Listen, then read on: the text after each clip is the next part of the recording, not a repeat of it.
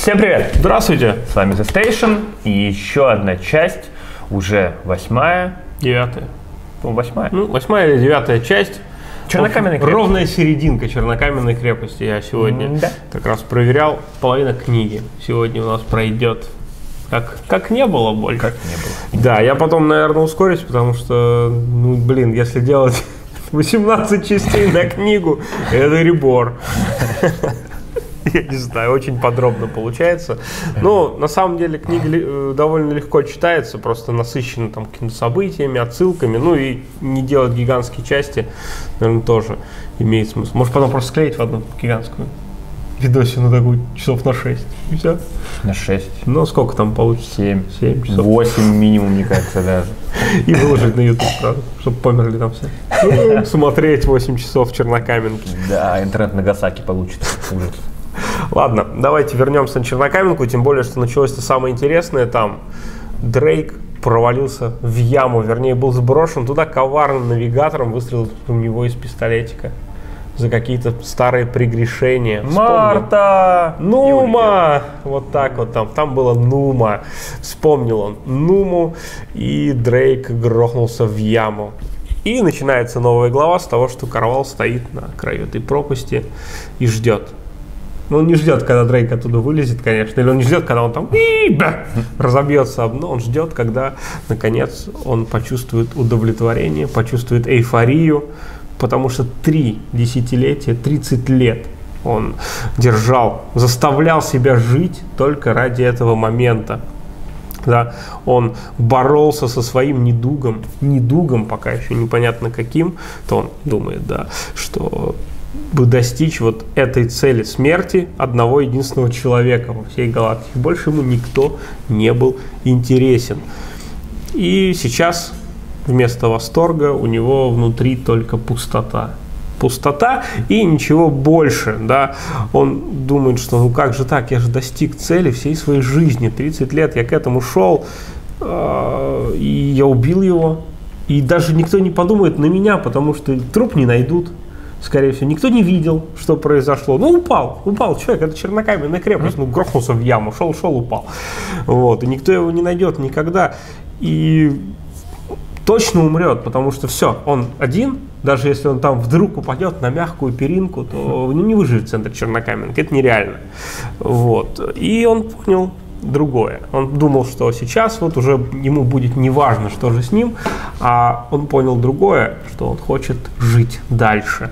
То есть вот это вот то, что он исполнил свою цель, подтолкнуло его увеличить, ну, жажда жизни в нем проснулась. Потому что, потому что он, ну, как бы не очень хорошо себя чувствует. Он кладет руку себе на грудь, чувствует, что кожа и плоть под его костюмом, она пузырится, вскипает прямо внутри, он сдерживает это.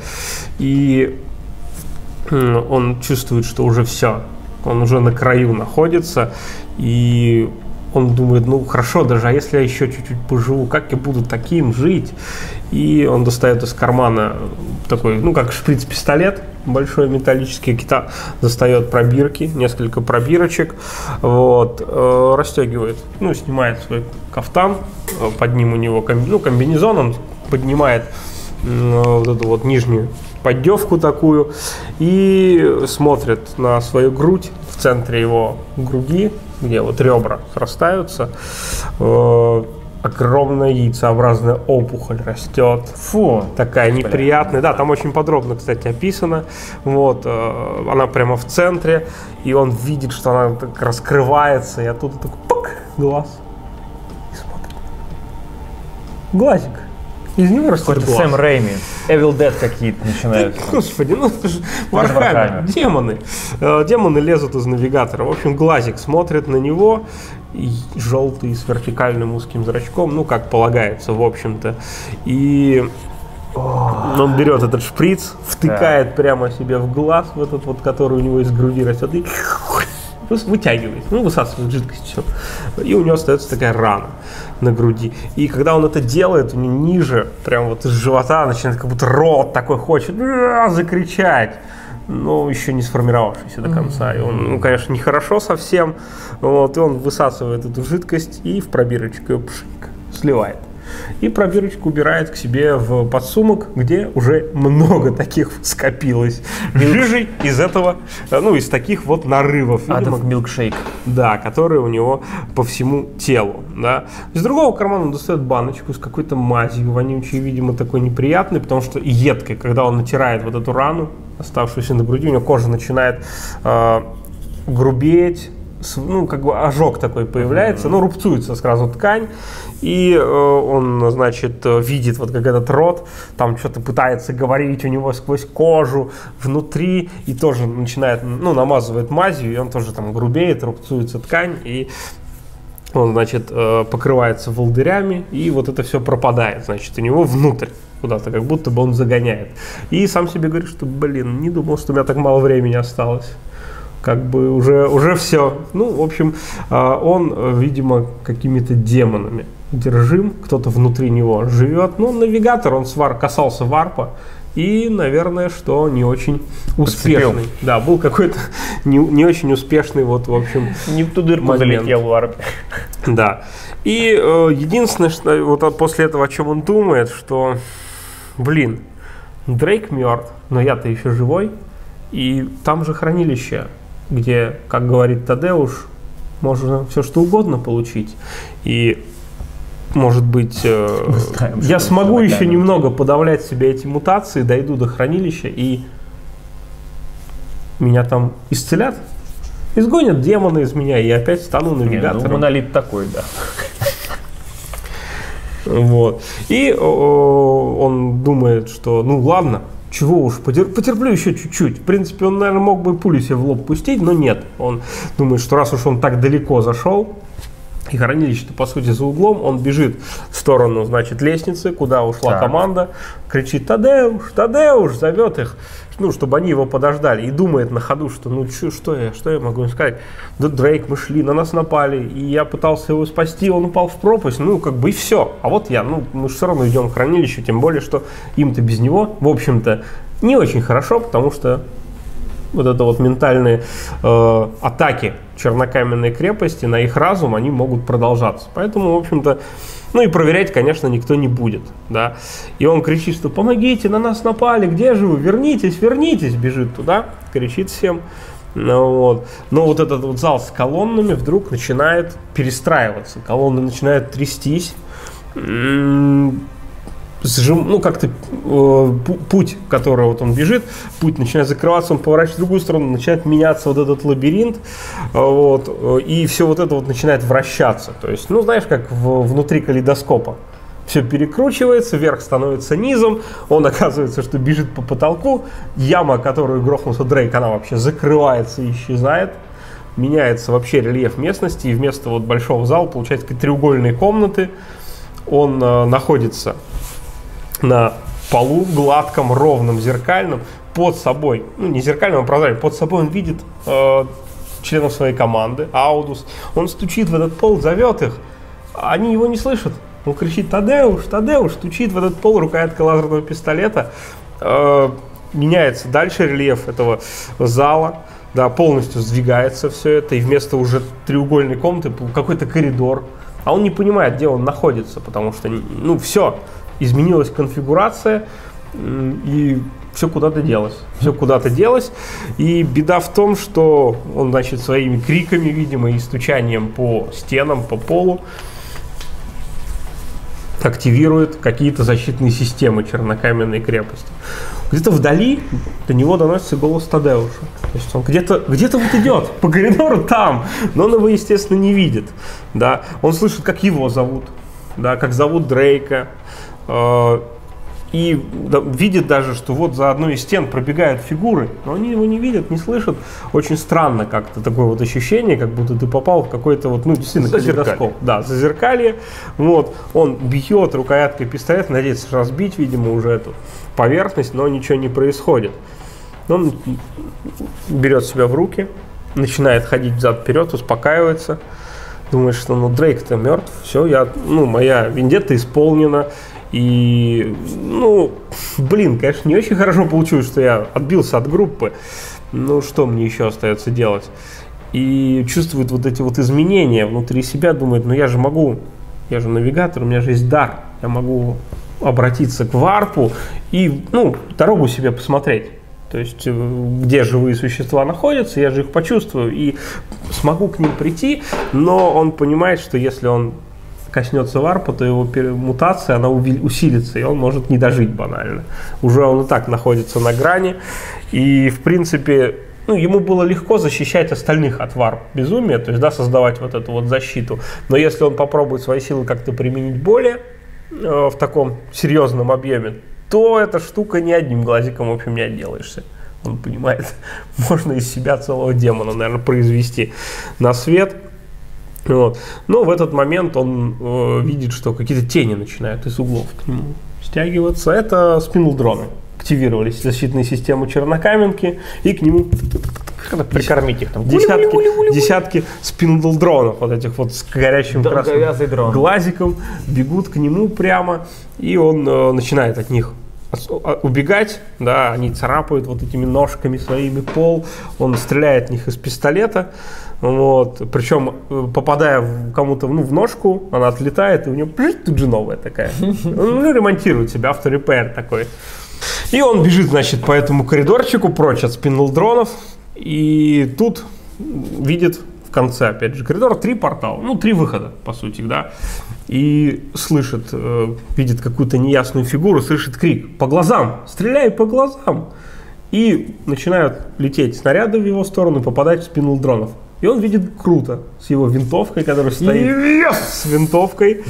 Вот, и Класс. стреляет прямо вот в эти окулярчики да. дронов и вы, вы, выщелкивает их фактически. Они такие бляк, сразу кучкой такой опадают, эти чувачки, и падают. А, вот. Причем самая фигня, что Крут, он не выглядит как живой, ну, как бы, как, ну, как вот, как существо из плоти. Он как будто бы соткан, вот это как его отражение такое. Он понимает, что это, опять же, то же самое зазеркалье. То есть он вроде здесь находится, ему помогает, но с другой стороны Крут его как бы не может дотронуться до него. И свет преломляется, и он так, знаешь, как фрактальная фигура, рассыпался осколками, то есть как будто бы его переместило куда-то. Ужас какой. Там в Чернокаменке там очень долгое вот это описание вот этих вот его, вот этой визуализации, да, как он там уворачивается, вот эти видит, как он рассыпается вот этими осколками, э, фигура вот этого круто, слышит какие-то отголоски, там это очень долго происходит, ну, там несколько страниц про все про это.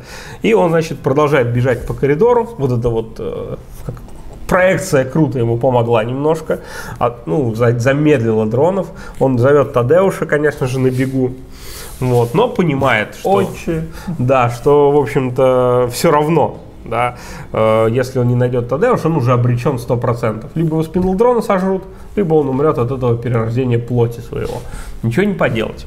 И он, значит, выбирает один из трех вот этих портальчиков, бежит по коридору, дроны за ним, за ним, за ним бегут, бегут, бегут. И он прибегает в конец, расширяется этот коридор и приходит в такой, как, ну, там написано, там атриум это называется, ну, по сути, какую-то комнату, тупик, на самом деле, просто конец пути.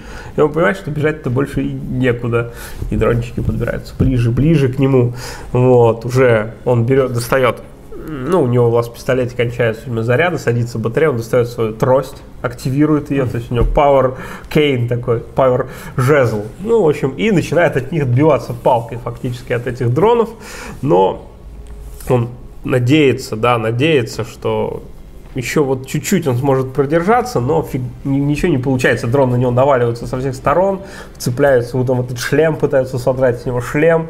Вот.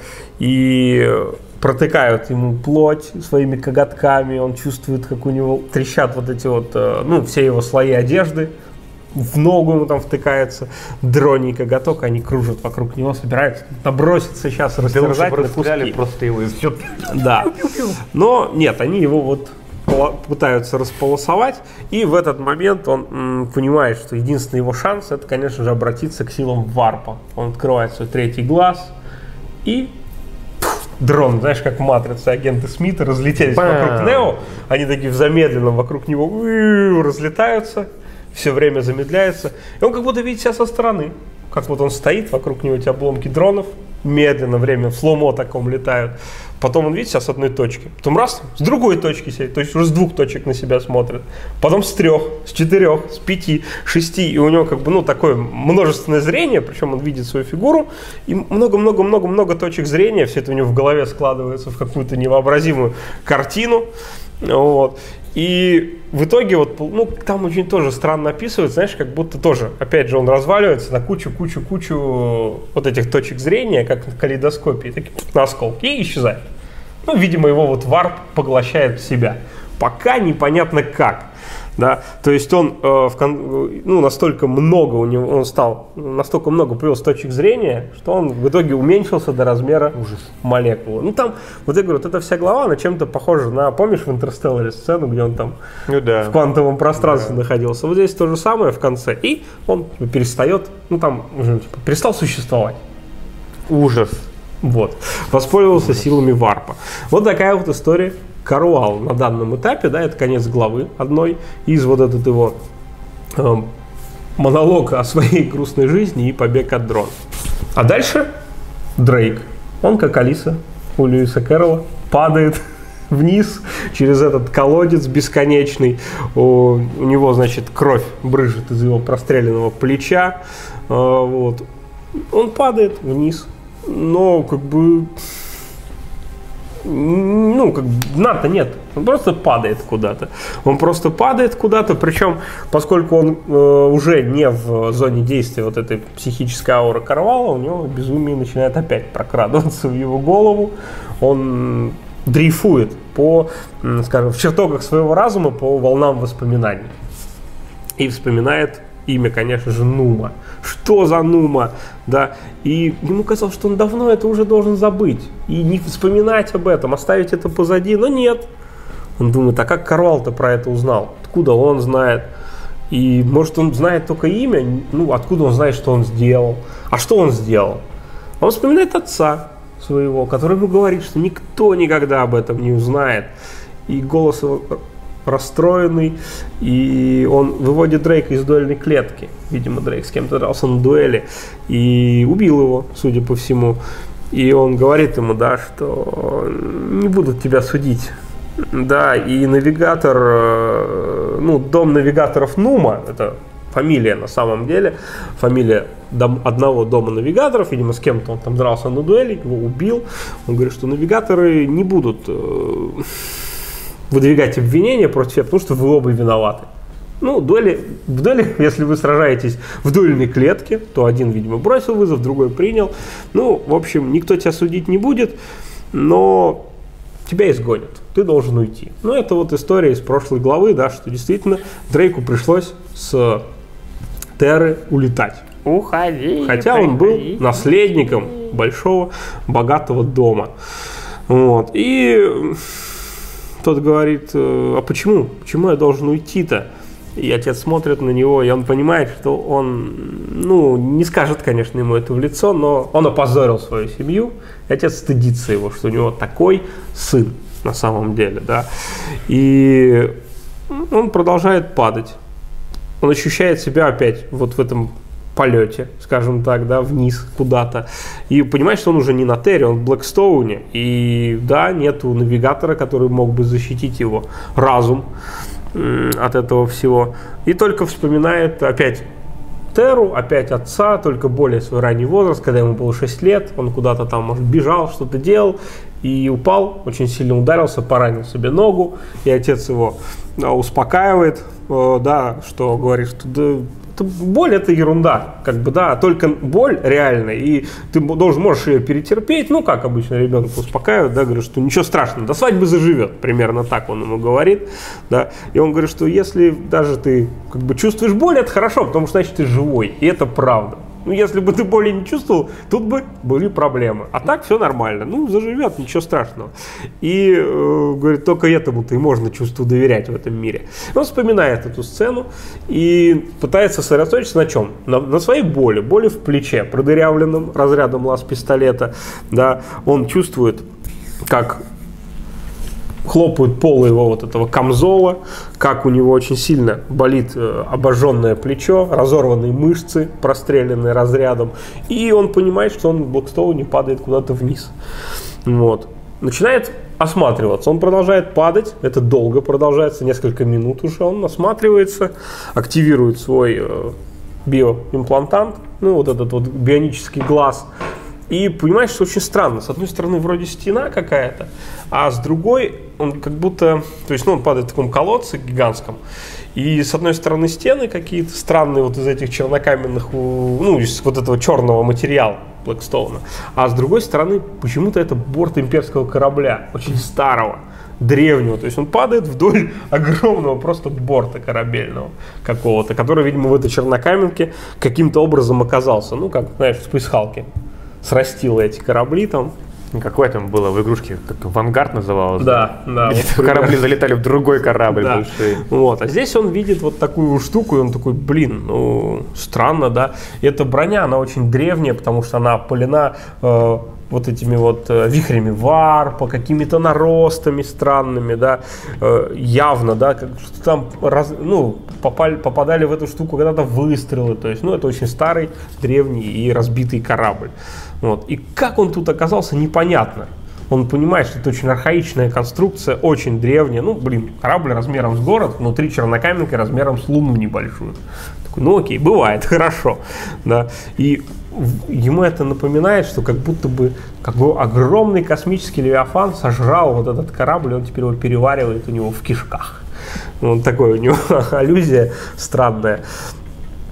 Вот, он воспринимает это как э, да, кусок гниющей пищи в кишках какого-то гигантского э, неземного создания. Ну и Дрейк, он как истинный Бэтмен и Джеймс Бонд, у него есть пистолет-крюк.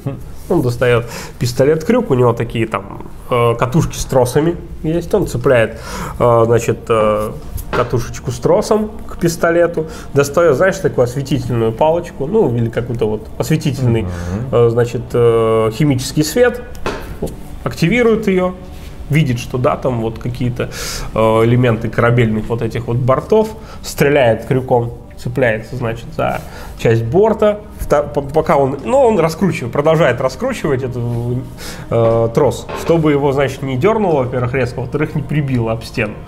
И стреляет вторым потом, ну, то есть себя цепляет, этот, э, стреляет вторым, то есть чтобы его, как, знаешь, как на маятнике таком раскачало. И, значит, в итоге он умудряется с помощью вот натяжения этого э, двух тросов себя забросить в одну, и, ну, в один из туннелей в борту этого корабля. Ну, он такой, как реальный Бэтмен. Вот. И этот абордажный крюк позволяет ему там, ну, как на маятнике, влететь в какой-то вот туннель в борту корабля. И там, значит, покатился он по полу, ударился, конечно, сильно, но вроде руки целые, ноги целые, поднимается. Такой, о, неплохо, да, лежит, значит, ну, свернувшись, чуть-чуть полежал, все нормально, поднимается, да, видит, что, как бы, ну, ничего с ним не случилось, только у него кровь по-прежнему из плетя э, течет. Посидел чуть-чуть, подумал, такой, что же он хотел меня убить-то? Вообще, почему он меня предал этот навигатор? Что случилось? Такой, ну ладно, наверное, что-то знает про Нуму. Решил, да, ну что? Что он знает? Непонятно. Никого нет. Посидел еще в темноте. Вот. Ну, шевель, пошевелил рукой. Вроде ничего, плечо работает еще. Достал аптечку, достал бинт, обколол себя обезболивающим. Ну, это же выживальщик на Чернокаменке у него все есть фактически.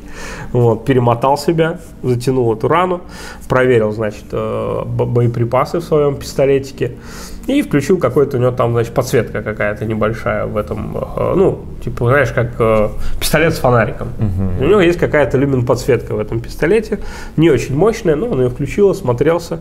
Да, действительно, находится на какой-то палубе валяются какие-то обломки механизмов, э, какие-то, значит, кагитаторы уже давно выключены, все там заржавевшие, какие-то шланги, кабели, тоже ничего, никого нет, темно, забытый корабль. Он пытается по Воксу хоть с кем-то связаться, но Чернокаменко глушит все Вокс-сигналы, не получается этого сделать, только шипение статики в Воксе. Вот. И он начинает, думает, значит, что, ну, блин, что делать? У меня вот только маленький по сути, лучик света, и он идет, значит, в темноте, и опять у него начинаются его Приходы. Приходы, да, ну, воспоминания. Он вспоминает, как ему было 11, и, ну, у него отец заставлял его практиковаться в фехтовании с утра до вечера, чтобы он, значит, был достоин имени, значит, благородного все-таки аристократа. И он очень интересно его учил. Э, Значит, э, загонял его в тренировочный зал, заставлял с собой спринговать на шпагах. Но при всем при этом у него был там, стоял такой большой фонарь, который освещал все это. И по нажатию кнопки он хоп, закрывались створки, и полностью зал был в темноте погружал. То есть он с ним фехтовал, раз в любой момент выключал свет, и фигачил его, значит, рапирой там или саблей. Заставлял его в темноте отбиваться, по сути, от своих атак на самом деле. Вот. И у него, опять же, раздваивается вот его сознание, он видит себя на Террика, он достает рапиру, идет по этому темному коридору, где ничего не видно, э, держа рапиру в руках, и вспоминает уроки отца, как тот учил его фехтовать в темноте, да, и по- попутно он ему, конечно, вбивал в голову, скажем так, постулаты, которыми должен руководствоваться отпрыск дома Дрейков и вообще наследник такого э, благородного дома, что честь – это все для нас. И раз его там саблей он заставлял его, значит, в темноте сражаться. Ну, раз свет включил, пару финтов сделал, опять выключил, там отмахивается от него, значит. Пытался, чтобы, значит, тот запоминал какие-то стойки. В итоге, да, Дрейк действительно стал э, в темноте предугадывать движение. Ну, когда тебя много дубасят во тьме, ты начинаешь вроде как соображать что-то. Странное обучение, но тем не менее. И он начал полагаться на слух, прислушивался к дыханию отца, к скрипу его сапог, к звуку, с которым шпага рассекает воздух. И он так постепенно, постепенно научился в темноте ориентироваться более-менее по вот каким-то косвенным признакам, не используя зрение. И в, в целом, да, в итоге он понял, что если долго находиться в темноте, то глаза привыкают в темноте, и ты постепенно, постепенно как начинаешь даже более-менее ориентироваться, да, и э, видеть, ну, запоминать, вернее, если ты видел помещение хоть немножко, да, то ты начинаешь запоминать хотя бы его конфигурацию, вот, и, э, значит, он по-прежнему, ему кажется, что он в тренировочном зале, что вот там должны стоять дуэльные клетки, какие-то боевые сервиторы, с которыми можно спарринговать. Но он нет, он внутри звездолета, да, и раз ему кажется, что как будто бы отец ударил его рапирой, то есть, ну, задел его, а на самом деле нет. Что-то нанесло ему рану какую-то вот. Да, с кем-то он сражается в этой темноте, кто-то там есть все-таки.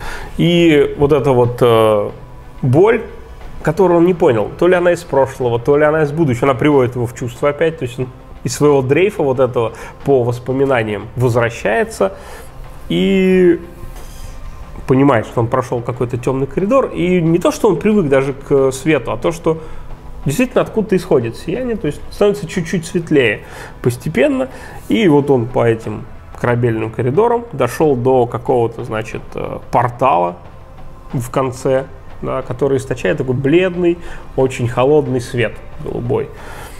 И он понимает, что да, там это по сути корабль впаян в чернокаменку, потому что та стена, в которой находится портал, это вот именно элемент чернокаменной крепости. И он понял, что он просто в темноте прошел вот этими лабиринтами этого корабля на инстинктах и вышел как раз к порталу, который приведет его к чернокаменке. Он подходит ближе, ближе, свет начинает усиливаться, уже режет глаза, которые привыкли к темноте, он прикрывает их рукой, стискивает саблю еще сильнее и шагает прямо туда, в этот портал. Вот. И возвращается таким образом на Чернокамен. Куда он попал, пока неизвестно. Следующая глава не про Гельмонта Карвала, не про Дрейка. Про наших приключенцев, вернее, про Аудус, про пилота, про женщину-пилота. На самом деле там так написано в книжке, что ты не, ну, сначала начинаешь читать кусок, да, там 2-3 абзаца ты читаешь, не очень понимаешь, а когда это? Сейчас, потом, а, или это типа, ну, какой-то флешбэк, да.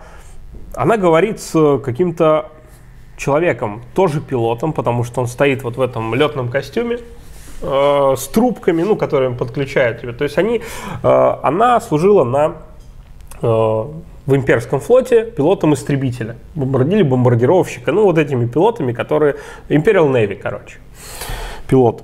И он, значит, э, стоит перед ней, другой пилот, его зовут Альмадат. Альмадат, он тоже вот в этом костюмчике, и он говорит, что они всех убьют, они убьют всех нас. Он держит ее за плечи, у него дрожат руки, бледное лицо. Она понимает, что она находится на посадочной палубе большого имперского крейсера «Бенедиктус». Ну, видимо, крейсер, на котором она служила. А, там стоят какие-то бомбардировщики, истребители, ну, вот эти атмосферные самолеты, мародеры, тандерболты и прочее, да. И это пусковой отсек, э, посадочная палуба, откуда вылетают на задание вот эти самолетики у них. Там никого нет, кроме них. Вернее, других пилотов там нет. Там есть какие-то рабочие, сервиторы, которые занимаются своими делами, что-то ковыряются в этих самолетах, шланги какие-то подключают, заправляют их, видимо. И она говорит, ты чего ты, что ты бредишь, что ты имеешь в виду, кого они убивают? Вот, э, да, она снимает шлем, она, видимо, только что либо прилетела, то ли еще что-то. Ну, это вот не очень понятно, потому что там описывается сразу так, типа, а вот вы здесь, типа, с места в карьер. И он говорит, что командир, командующий все испортил, Артегаль, он все испортил. Командор Артегаль это тот командир, который отдал приказ разбомбить планету, помнишь, в самом начале. Uh-huh. Вернее, не разбомбить планету, а уничтожить позиции имперских uh-huh. войск, которые столкнулись вот с этим зараженным губернатором демоническим. Yeah. И да, она видит, что он ее куда-то ведет, вот этот Альмадат, он ее куда-то ведет, говорит, и она понимает, что он подводит ее к шаттлу одному из шаттлов, который заправлен, полностью готов ко взлету, то есть у него все сняты вот эти там заглушки, он полностью подготовлен к вылету. И он говорит, давай, давай, типа подталкивает ее даже туда. Она идет за ним. И странно, да, действительно, пилотов нет на палубе, хотя вроде, ну, только что они вернулись с боевого задания. Вот. А он ей продолжает что бормотать и говорит, что зря, все это было зря. Мы всех зря убили там, там на планете, мы зря это сделали. Мы зря убили всех на Сепусе Прайм. Зря разбомбили позиции, где как раз был вот этот Псайкер, лейтенант и все остальные. И он продолжает и говорит, что типа то, что мы должны были уничтожить, зараженные псайкеры, вот эти, ну, которых, э, которые были заражены вот странной чумой, понимаешь? Ну, не чумой, а вот этим демоничеством. Угу. Они уже, типа, улетели с планеты, когда мы бомбардировали их позиции, да, они, губернатор это был отвлекающий маневр по факту, и вот эти вот странные псайкеры, они уже на каком-то планетарном, типа суборбитальном грузовике, ну, лихтере, они типа пережили взрывы и улетели. То есть мы зря там убили, по сути, пол, ну, наши войска. Да. Они все, говорит он, погибли напрасно. И он стоит рядом с ней, она видит, что у него кровь начинает проливать к лицу, то есть он злится на эту ситуацию. Да, он забывает о том, что только что боялся, что только что они были вынуждены прятаться там на этой посадочной палубе и говорит, что командир, он общался с губернатором, он все знал на самом деле. Она говорит, не может у нас командир быть еретиком, такое невозможно. Никогда такого не было. Да, действительно, это же Вархаммер. Да. Но он говорит, ну типа, нет, ну конечно не еретик, но он изначально поддерживал губернатора, и в итоге, да, когда все повстанцы вот уже были собраны в одном месте, mm-hmm. когда они готовились, вот эти войска, mm-hmm. помнишь, они залезали там на эту башню, yeah. там, э, готовы были нанести удар, то прилетели истребители, их звено бомбардировщиков, истребителей, и все разбомбило. А теперь, говорит, мы убили войска там, на планете, да, ну, все мертвы, никого не осталось. И теперь нас здесь всех убивают пилотов на корабле. Мы вернулись, и теперь здесь людей казнят. Приходят комиссары, вы были на вылете, пройдемте. И в лоб тебе стреляют. В общем, э, уничтожают тех, кто был свидетелем вот этой вот неудачной и, видимо, бессмысленной, как он ей объясняет этот Альмадат, операции, что обманщик, Артегаль был обманщиком и лжецом, и по его приказу теперь пытаются все это дело скрыть. И он, когда это говорит, вдруг он замолкает. Она смотрит на него, у него на груди так кровь растекается. Баба. Не, просто у него такая дырочка. И от, начинает кровь. Потом еще одна, потом еще одна. И она видит, что к ним бегут гвардейцы, которые стреляют из лазганов через весь ангар. И он падает, этот вот пилот, на пол. И она оглядывается и куда-то пытается за этот шаттл убежать. А были бы Звездные войны, я сразу поняла бы. Ну, могло бы, да. И она понимает, что единственный шанс это забираться в шаттл. Ну, вот в этот челнок, к которому ее подвел пилот. И она по лесенке приставной залезает в кабину, попадает там выстрел лазганчиков в эту лесенку, она сбивает краску с обшивки. Она залезает, э, захлопывает люк, ну, вот этот в кокпит уже садится, э, включает элементы управления, и тут э, видишь, что рядом с ней сидит ее напарник, этот Альмадат, который вроде как мертв, но он сидит рядом с ней и говорит, что мы уже, уже у цели. И она понимает, что типа, да нет, тебя убили, и это не он говорит. Мы у цели. Он говорит не своим голосом. Потому что это голос Тадеуша. И она оказывается на Чернокаменке. То есть все, опять же, происходило в чертогах ее разума, вот эти вот воспоминания. Да. Она оказывается на Чернокаменке, она понимает, что то, что она вспоминала только, что случилось несколько месяцев назад. Ну вот тогда, когда вот эта военная операция шла и прочее. А сейчас рядом священник, они куда-то идут, э, видят Фильм ужасов стандартный Да. какой-то. видит, значит, эти коридоры Чернокаменки, и священник, он постоянно, э, ну, держит свою, свой розарий в руках, постоянно листает книжечку и что-то бормочет. Может молитвы, может маршрут вспоминает. И она начинает, ну, у нее вот этого бормотания, с- она слышит и начинает разбирать его фразы. То есть то, что он говорил, что мы близко, это он, типа, имеет в виду, что они уже практически пришли к хранилищу. Он продолжает бормотать, что, типа, это не важно, все, все остальное не важно. Не важно все остальное. Мученичество. Мученичество, это на службе Богу Императору, это честь. Это, как бы, ну, честь для всех. И она понимает, что он имеет в виду то, что Дрейк и Карвал, они пропали, да, и он имеет в виду, что, ну, подумаешь, потеряли парочку человек. Ну, ничего страшного. С кем не бывает. Да. И она ему так и говорит, «Фу, как, ну что, что, какое мученичество, Ш- почему там, да, что?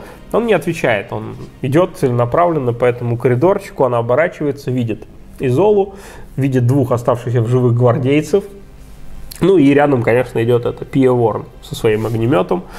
Вот. А она думает, что а, и куда нам теперь что? Двоих нету там. Ну ладно, хорошо. Изола она не очень любит. Она олицетворяет для нее вот этот вот империю. Она как, а, значит, приближенная Дрейка, высокопоставленная особа, и она неприятна. Да. И в принципе, Аудус, она думает, что ну, только с Дрейком можно было нормально поговорить. Он хоть и тиранин, хоть и заносчивый, но нормальный. Эти все то ли сумасшедшие, то ли надутые индюки. С ними общаться, в общем-то, особо не хочется. И она смотрит на Изола, так говорит, что ей, мы не видели, как Дрейк-то умер. Мы ничего как бы не видели, комната поменялась и все. Да. Э, Зачем? Зачем говорить о том, что кто-то там пал мученической смертью и вообще, ну тогда уж такое, да типа говорит, ну даже если они живы, то скоро они будут полностью потеряны, да, потому что навигатор, который мог бы защитить его разум, он тоже куда-то делся. Ты же видишь его здесь? Его здесь нет. А значит, как бы, ну, и нам грозит тоже опасность. Он такой к Ворон поворачивается. Ты-то как? Нормально? Она такая, «Э, да ваше высокопрещенство, вроде ничего. Не так плохо, как в прошлый раз. Говорит, что те катехизисы, которые мы решили с вами, что помогут нам сосредоточиться и не отвлекаться, вроде как помогают. Я читаю молитву, и мне нормально, да. Я, Саентология да. рулит, в общем. Я вроде ничего. Ну, тогда уж смотрят на женщин, так, «А, сила веры-то какая. Без таких навигаторов справимся. Идемте, идемте, мы уже близко. Пора идти. Ну вот, но Изола его останавливает, говорит, что ваше высокопресвященство, но Куда? там же, да, мы не можем Дрейка бросить, он же не сможет без нас вернуться на корабль.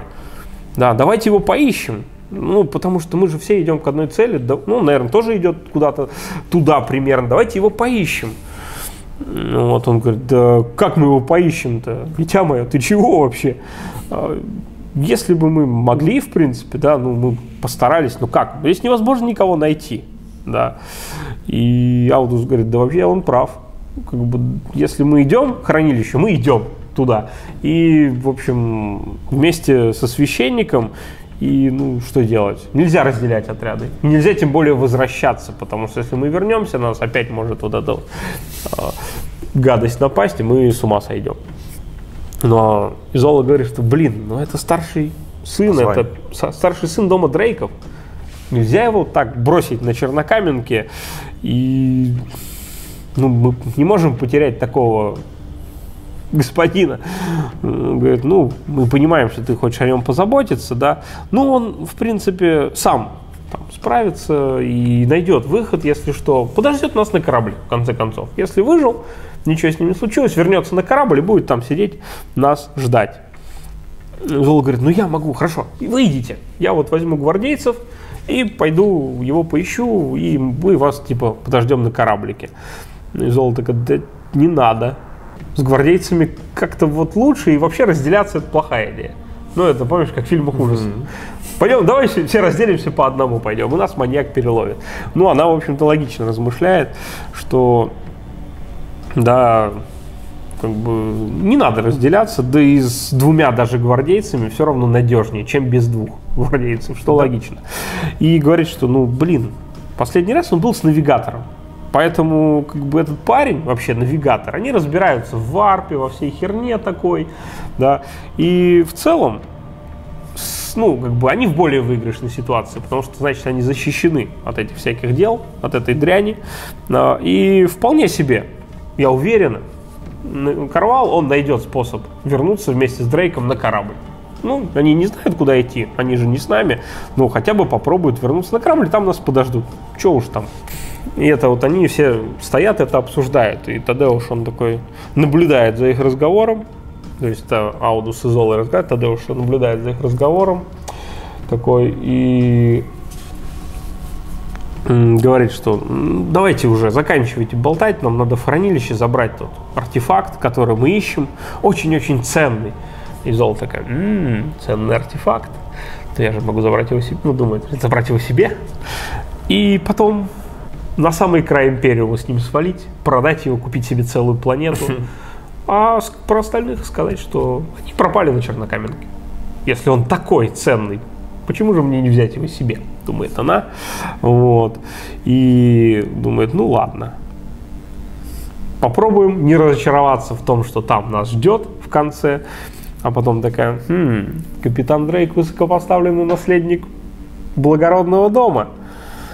Тоже неплохо. Это будет моим запасным вариантом, думает она. Что если не удастся, по крайней мере, может хотя бы с дома Дрейк, поимея немножко денежек, и как бы думает, ха, главное теперь не ошибиться в выборе правильной стороны. И они отправляются дальше по чернокаменной крепости к хранилищу. На этом конец 15 главы у нас. Это ровно середина книги заканчивается. Как ужастики всякие. Да, да. Типа Куба. Вот Да. Куб напомнила, только такой футуристичный. Ну, вот это вот все. Да, причем теперь уже вот главы реально небольшие становятся. Ну, я не знаю, как бы они вот начинают все разделились, когда все были вместе, как-то было компактнее. Теперь э, и много читать. А теперь маленькие главки про каждого по чуть-чуть пишут. Теперь все по одному там практически бегают. Крут один, Дрейк один, Навигатор один. Эти еще вот толпой пока бегают, но я думаю ненадолго.